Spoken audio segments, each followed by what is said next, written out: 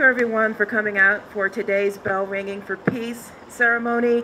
Um, I just want to say that I don't know if anyone would want to have the seats for our speakers. It's pretty cold out here, but if you would like to take a seat, we have provided them for you. Uh, same for the audience out there. Um, do, has Leisha arrived yet? Oh. so we're going to hear a musical selection now from Miss Leisha Gray.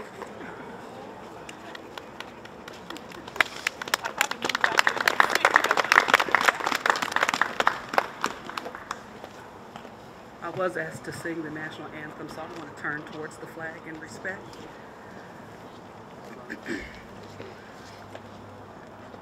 oh, say, can you see by the dawn's early light what so proudly we hailed at the twilight's last gleaming, whose broad stripes and bright stars through the perilous fight. O'er the ramparts we watched were so gallantly streaming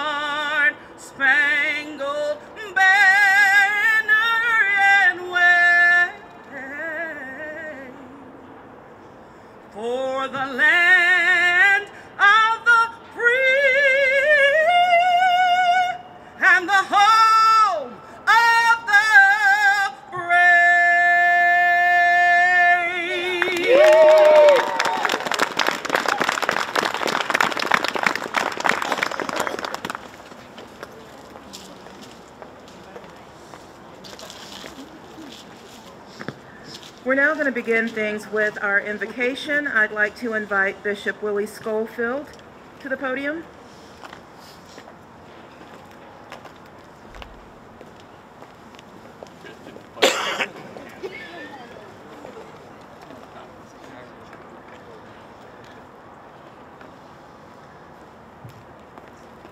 May we bow our heads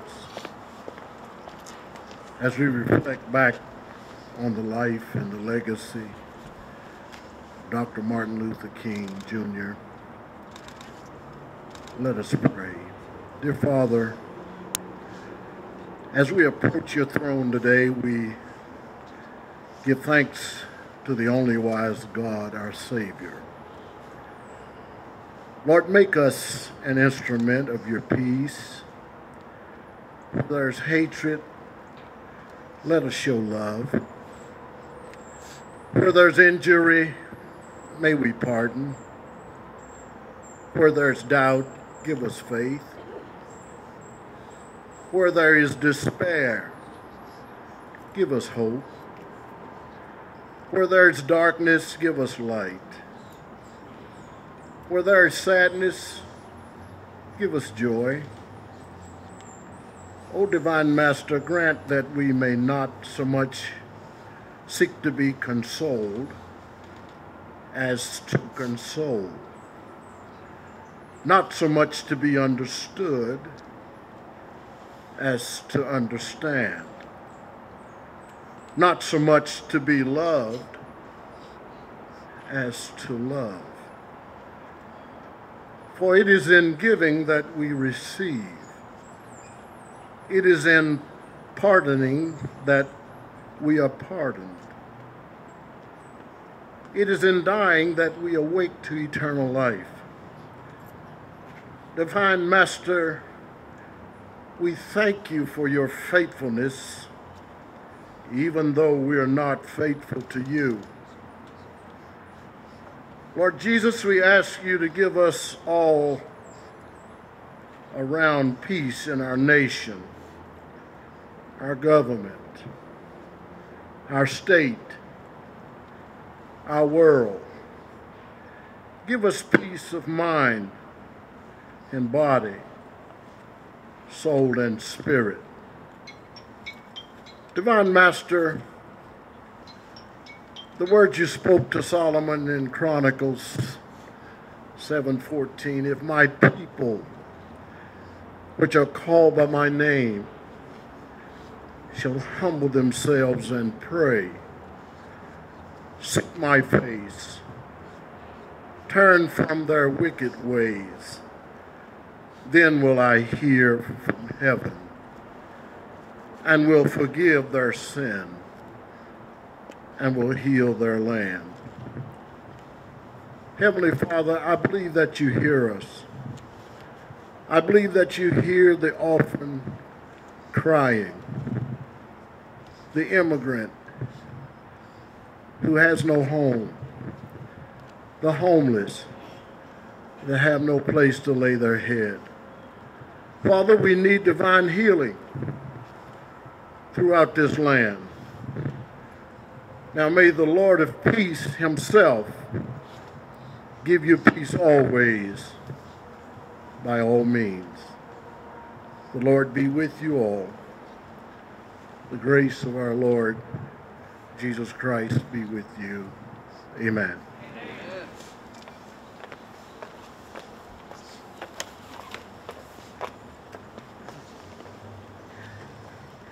Hello, everyone. For those of you who have not met me, my name is Jill Upson. I'm the Executive Director of the Herbert Henderson Office of Minority Affairs and also the Chair of the Martin Luther King Jr. State Holiday Commission. The Commission is pleased to welcome you to this year's bell ringing ceremony. Martin Luther King Jr. ended his famous I Have a Dream speech with these words Let freedom ring. And when this happens, when we allow freedom to ring, when we let it ring from every village, and every hamlet, from every state and every city. We will be able to speed up that day when all of God's children, black men and white men, Jews and Gentiles, Protestants and Catholics, will be able to join hands and sing in the words of the old Negro spiritual Free at last, free at last. Thank God Almighty, we are free at last. So, with those powerful words in mind, each year we hold a bell ringing event to unify and to remember. Dr. King also said, There will be the day when all of God's children will be able to sing with new meaning, My country, tis of thee, sweet land of liberty, of thee I sing. Land where our fathers died, land of the pilgrim's pride. From every mountainside, let freedom ring. I'd like to invite several people up to give comments, but first we're going to hear from our uh, United States Senator, the Honorable Ms. Shelley Moore Capito.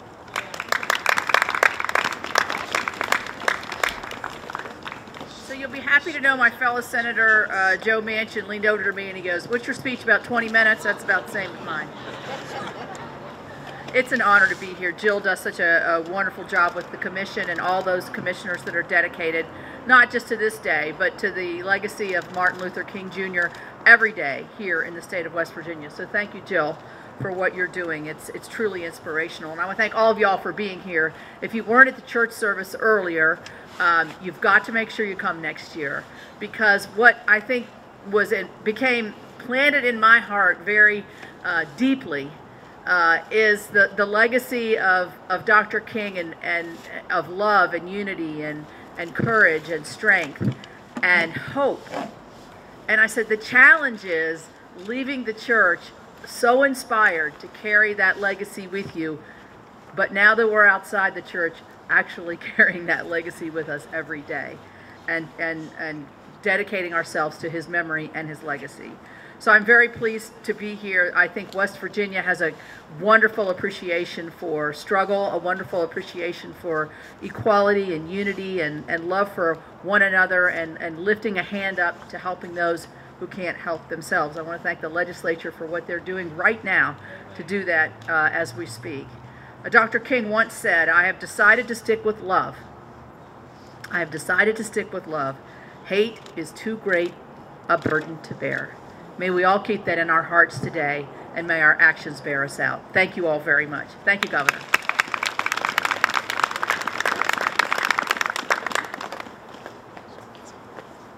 Next, we're going to hear from our other United States Senator, the Honorable Joe Manchin.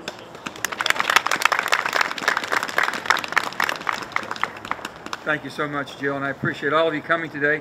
I'm reminded of John Kennedy, 1963, June 20th, on those steps, when he said, The sun might not always shine in West Virginia, but the people do. Amen. And that's pretty special about who we are and what we're really honoring today is Martin Luther King Jr. As Shelley said, the, uh, the service was very inspirational. It was a great service. We've been to quite a few of them, but this one was absolutely unbelievable. The way it was presented, the way it was conducted. And it reminds us of one thing that Martin Luther King says Our lives begin to end the day we become silent about the things that matter. When you think about what our purpose is, those of us in public service, all of us who care about each other, Martin Luther King preached one thing unity. Unity is all he preached. We all come together, we're all equal. In God's eyes, we're all equal, and we shall all be equal in each other's eyes too. We don't absolutely condone any type of discrimination, any way, shape, form, no matter where, no matter how.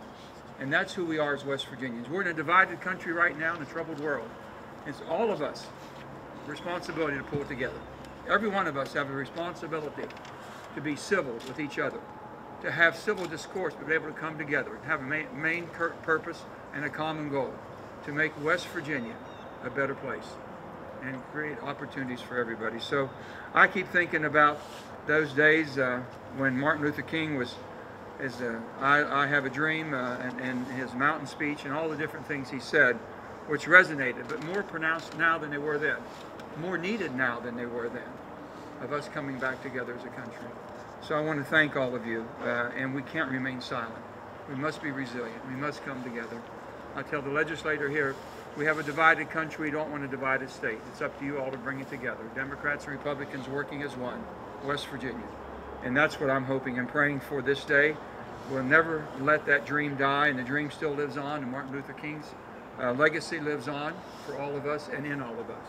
God bless you, and God bless the great state of West Virginia. Thank you.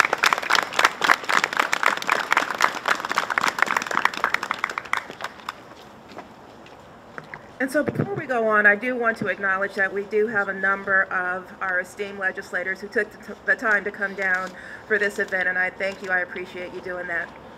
Next, we're going to hear from a representative from Congressman Alex Mooney's office, Ms. Susie Aceveda.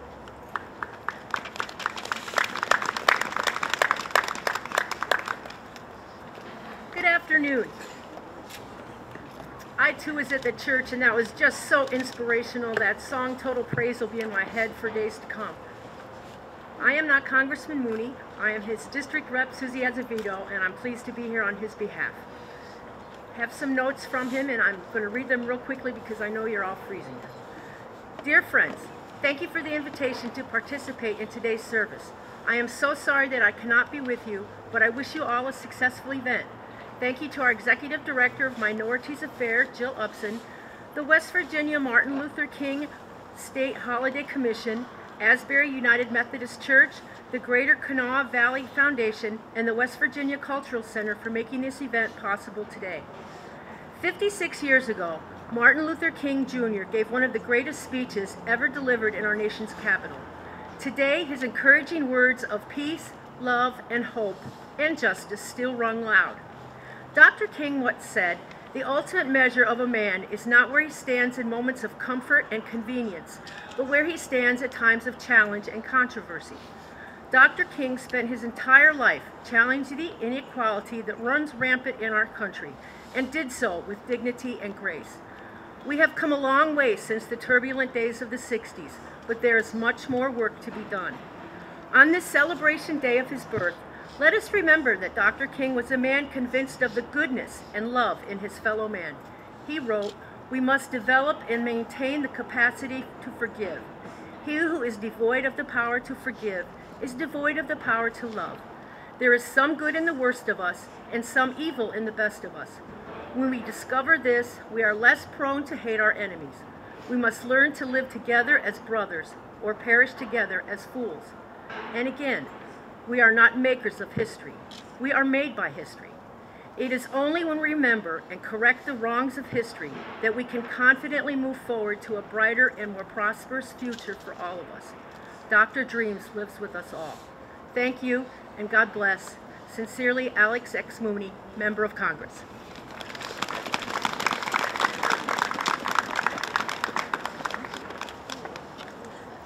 Next, we're going to hear from our Senate President, the Honorable Mitch Carmichael.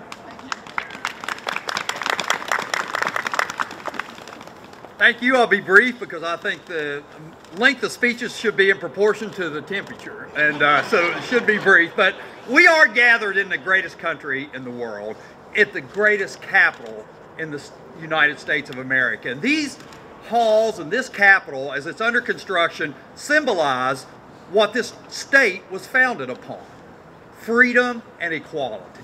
And that's what Martin Luther King Jr. stood for. And I think we should have take this opportunity, as we are doing now, to uphold that value, to always fight for that value, and to remember the sacrifices that were made for those who have gone before us for that principle of freedom, equality, and uh, equalness between all people, all mankind. We are all children of God, made in His image, and we should always recognize the value of each other, value one another better than ourselves, and uh, uphold those values as we move forward in rebuilding not only our uh, dome of our state capital, but our nation and our state to come together as one people. So thank you very much.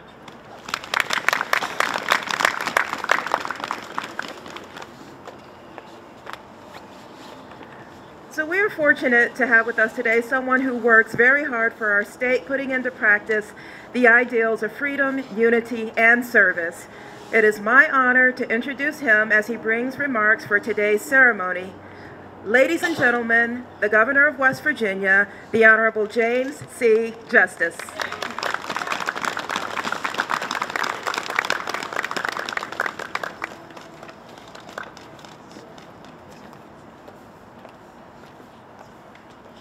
Well, thanks for everybody being here, especially our senators and our Senate President, legislatures, everybody.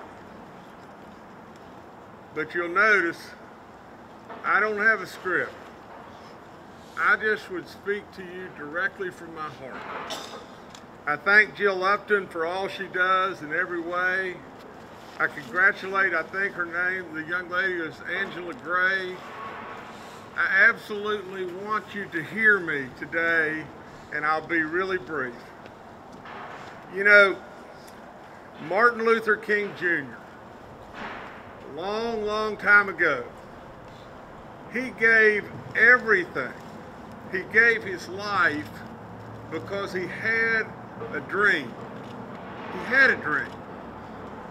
And that dream was full of God and love and all the goodness that we should be doing every day. Now, I want to tell you just this. I have a dream. I have a dream for a better West Virginia. And, and I'm working it with all my heart and soul. He expected me to have a dream. He expected me to have a dream. He expects you, every last one of you, to have a dream a dream of a better, a better everything, a dream of love, and a dream of God. Now, I want to tell you just this. We've got so much to do. So much that He put us on a pathway and we're better, but we're nowhere complete. We've got so many that are hurting and so much to do and we need to get at it. So I would say to you, God bless in every way, shape, form, or fashion. And God bless Dr. Martin Luther King Jr. and all that he did for us to put us on our way. Now let's all go and have a dream. Thank you. God bless.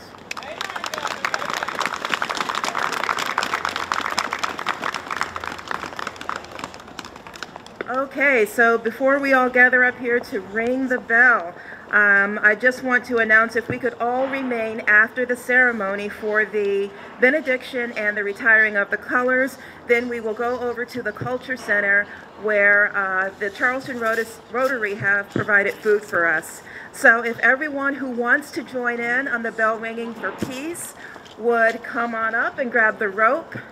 Don't be shy. You can go all the way up to the top there. Looks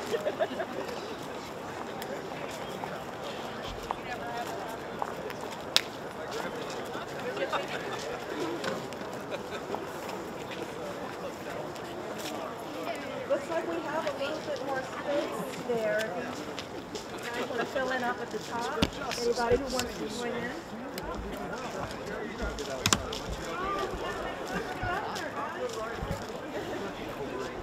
Let's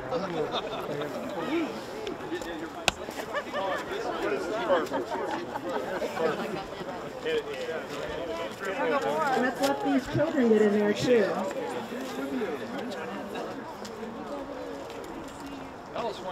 So this year we're gonna do like last year, we're gonna ring it three times. I'm gonna count to three, and then you guys can go ahead and pull. So, on the count of three, we're gonna let them ring. One, two, three.